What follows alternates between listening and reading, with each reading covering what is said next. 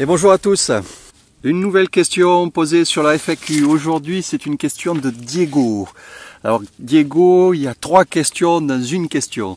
Alors, comment réalises-tu le Mikiri euh, dans tes pains et comment tu sais quand c'est le bon moment de le réaliser?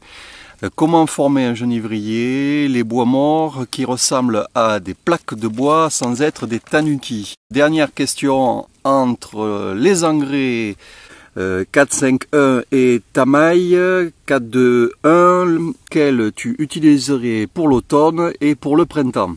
Dans tes trois questions, là je vais répondre surtout à deux questions, à la première et la deuxième, parce que la partie sur la partie genivrier, c'est quand même presque une vidéo en elle-même qu'il faut faire. Aujourd'hui je vais te parler comment je fais mes mikiri et puis je te parlerai aussi des engrais. A tout de suite alors pour l'exemple, je t'ai pris un, arbre en, culture que j'ai chez moi. Donc c'est un pin sylvestre. Donc c'est un arbre qui est un peu long, un peu grand, qui m'a fait des grandes, grandes chandelles. Ça sera bien plus facile de te montrer sur des grandes pousses que sur des toutes petites pousses. Donc je vais passer un peu plus sur du, gros plan euh, pour te montrer exactement ce que je fais. En général, euh, ça fonctionne comme ça. Tu as ton bourgeon au printemps qui va se réveiller. Ton, bourgeon va s'étirer, va se lever petit à petit. Selon la force de ton arbre, ta chandelle va se lever de ça à, pas de limite en général. Donc une bonne pousse en général c'est à peu près ça sur des pins à peu près établis. Euh, sur des pins en culture, moi j'ai des pousses des fois qui font 50 à 60 cm. Peu importe la pousse que tu as ta chandelle va se lever et arrivé à un moment, elle va arrêter de pousser et les aiguilles vont se décoller de la chandelle comme ça et vont finir de s'ouvrir. En général, tu arrives euh, début juillet, euh, en général début juillet, les chandelles euh, sont complètement ouvertes et les aiguilles sont sorties. Donc début juillet, mi-juillet, c'est là que je fais le nikiri. Petite précision, je ne désaiguille jamais mes pins. Le seul moment où je désaiguille mes arbres, euh, c'est quand euh, je, vais les mettre en forme. Tu comprends bien que euh, avec cette touffe là, pour passer du fil, ça va être très compliqué. Donc c'est que à ce moment-là que je désaiguille mes arbres. Donc les seules manipulations, les seules choses que je fais sur les pins, c'est le mikiri, c'est-à-dire je coupe la chandelle qui est sortie, je coupe la chandelle de l'année en fait. Donc je te montre ça en gros plan. Donc voilà, donc tu vois, on est sur ce cas de figure là. Ça c'est les aiguilles de l'année dernière là, ici, sur cette partie là. Et ça c'est la chandelle qui m'a faite cette année avec, il y avait deux bourgeons latéraux que j'ai laissés. Donc voilà, il m'a fait une chandelle, deux chandelles, trois chandelles. Donc, le mikiri, ça consiste à quoi? Le mikiri, c'est tu, te mets là, à de la pousse de la chandelle et tu coupes à ras. Ton arbre, qu'est-ce qu'il va faire? Comme j'ai laissé euh, les deux autres chandelles sur le côté, ton arbre, qu'est-ce qu'il va faire? Il va l'année prochaine, il va partir sur, ce bourgeon-là et il va partir sur ce bourgeon-là. Donc c'est à toi de voir si ta branche te convient sur cette longueur-là ou pas. Ou sinon, carrément, tu enlèves tout.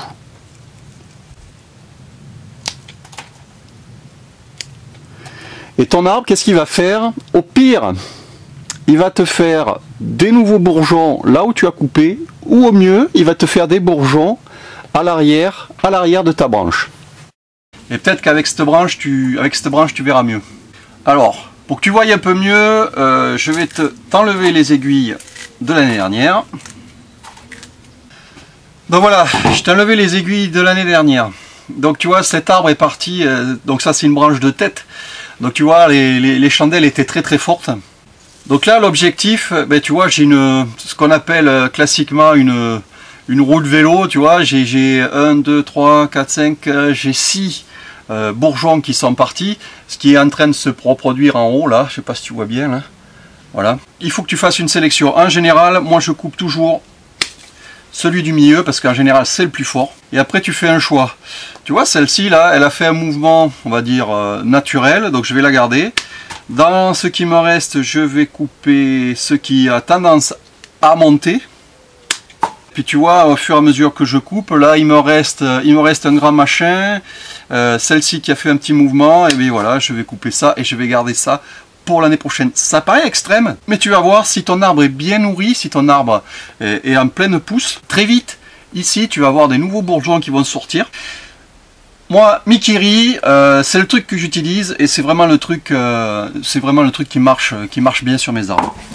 Bon, écoute, tant que je suis sur cet arbre, je vais continuer à, tailler les chandelles et, en même temps, je vais répondre à ta question sur les engrais. Tu me parles de deux engrais, tu me parles d'un engrais qui est dosé 4-5-1 et tu me parles d'un engrais qui est dosé le Tamaï 4-2-1. Euh, quoi te dire sur ces engrais?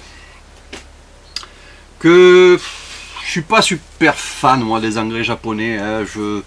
pourquoi? J'en sais rien parce que peut-être que j'ai la possibilité d'avoir des engrais. Euh, Peut-être que j'ai la possibilité d'avoir des engrais professionnels, surtout qui me coûtent, euh, qui me coûtent moins cher et que je trouve euh, au niveau de l'efficacité sont, sont, aussi bien quoi.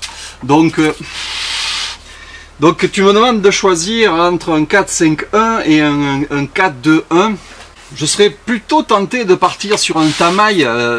Euh, que ça soit automne-hiver, hein, parce que euh, ben, tu en as un où à un moment le phosphore, euh, notamment le 451, là où le phosphore est un peu plus élevé. Phosphore, hein, pour rappel, ça a un effet sur, sur, la, pousse des, la pousse des racines. Donc peut-être que ça a un intérêt à l'automne, mais ça a aussi un intérêt au printemps, quoi. Hein. donc, ben, faut choisir entre les deux. Pour moi, c'est assez compliqué. donc, ce que je vais te, qu'est-ce que je vais te dire? Soit tu fais un mix des deux, franchement. Soit tu fais un mix des deux. Euh, tu mets les deux à chaque fois euh, sur, euh, sur tes arbres. Ou soit, ben, si tu n'as pas acheté ces engrais-là, ou soit ben, tu te trouves l'Orga 3. L'Orga 3 de chez Fraissinet, parce que c'est un engrais qui est équilibré. Euh, équilibré par, là, qu'est-ce que je veux dire? C'est que c'est un 3-2-3. Euh, donc tu vois, euh, au niveau des éléments, t'es pas trop mal.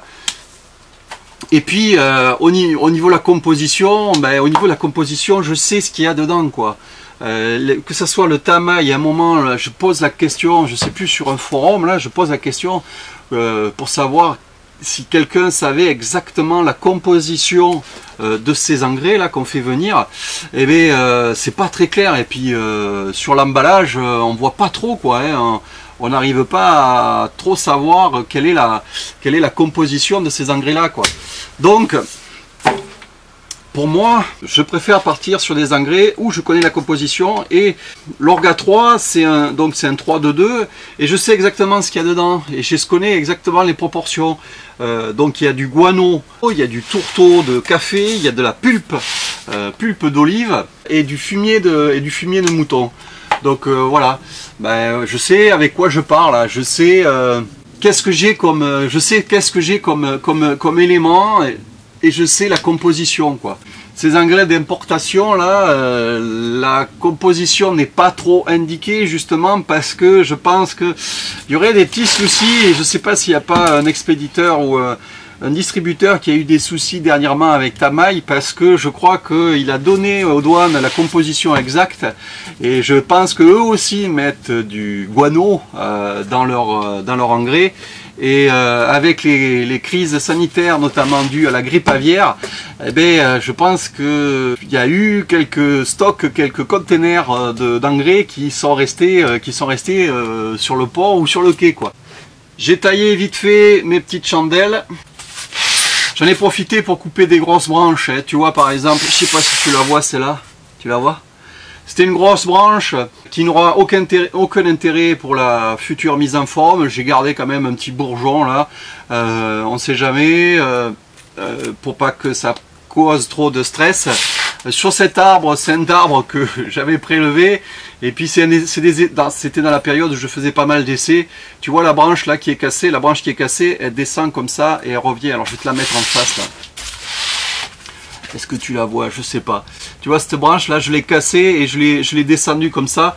Et c'était pour voir, euh, pour voir comment se comportait euh, un arbre après une grosse, déchirure. Bah, tu vois, il s'en fout quoi.